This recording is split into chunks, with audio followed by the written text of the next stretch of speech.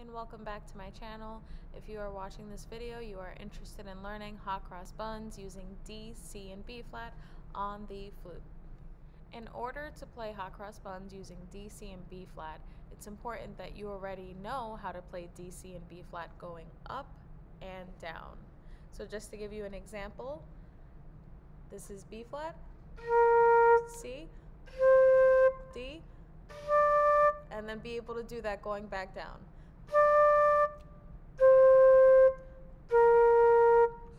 Will show you the fingerings for D, C, and B flat, but it is very, very important that you can be able to play it up and down, play the song. It's important that we analyze the music before we play it. So some of the, the rhythms that we have in this song are half notes, which are two beats each, half rests, which are two beats each, and quarter notes, which are one beat each. When I go through this example, I will do four measure chunks at a time. I will clap and count it, then we will clap and count it together, and then we'll proceed to the next four measures. I clap and count, you listen, and then we'll clap and count together. Make sure that you are clapping and counting, that way you understand the note. I'm going to clap and count the example, you're going to listen, and then you'll join in. Just make sure that when you see the half rest that you do not clap because we do not play, we do not clap on half rest. One, two, ready, listen. One, two, three, four. One, two, three, four. One, two, three, four. One, two, three, four. Now it's our turn to clap it together because I did only the first four measures. Now let's try it together. One, two, ready, clap. One, two, three, four. One, two, three, four. One, two, three, four. One, two, three, four. I'm going to move on to the next four measures. You're listening first. Watch when I clap the quarter notes that I separate each quarter note. One, two, ready, listen. One, two, three, four. One, two, three, four. One, two, three, four. One, two, three, four. So this one's a little bit trickier because we have the quarter notes, so you can always rewind if you have trouble. Now it's our turn to do it together. Last four measures. One, two, Ready, and one, two, three, four, one, two, three, four. Half notes. One, two, three, four, one, two, three, four.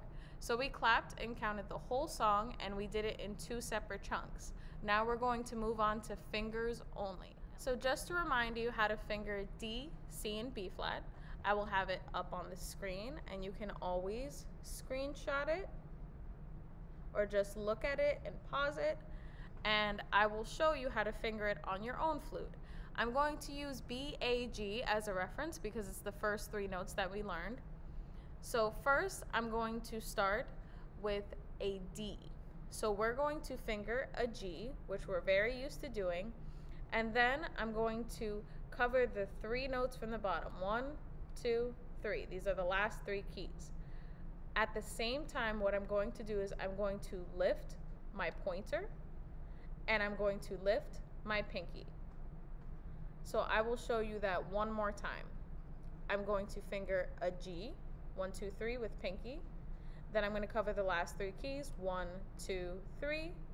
And then I'm going to lift my pointer on my left hand and I'm going to lift my pinky on my right hand. And this is how you finger a D. So I'm just going to hold it out so you can hear it.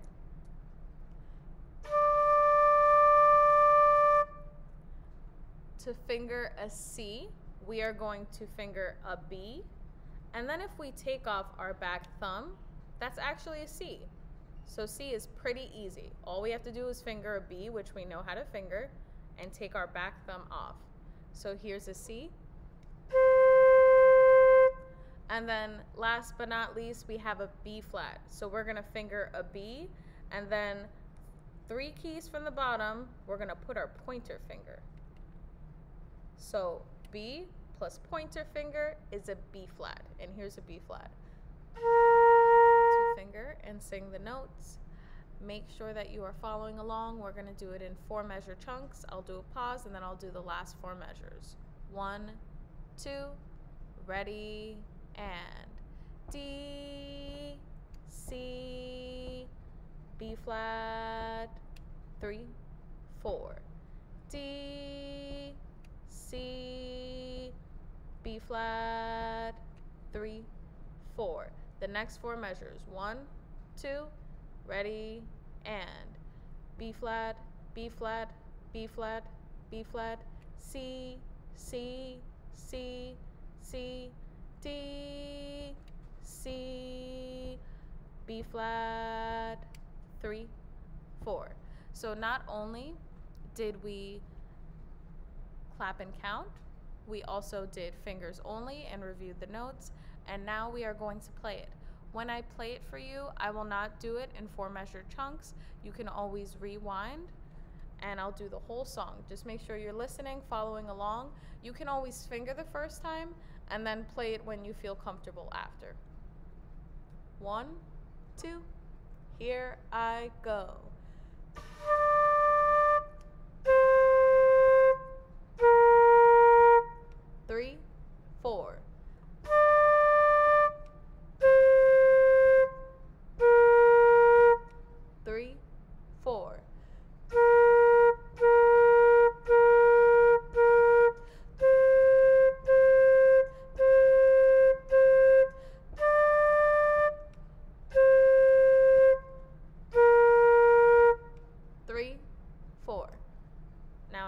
Go into rest position and just make sure that when you have those rests that you are keeping your instrument up, your chin up, and I hope this video was very helpful. Make sure that you practice a lot, practice in chunks, and you can always rewind and slow down the video if you need to.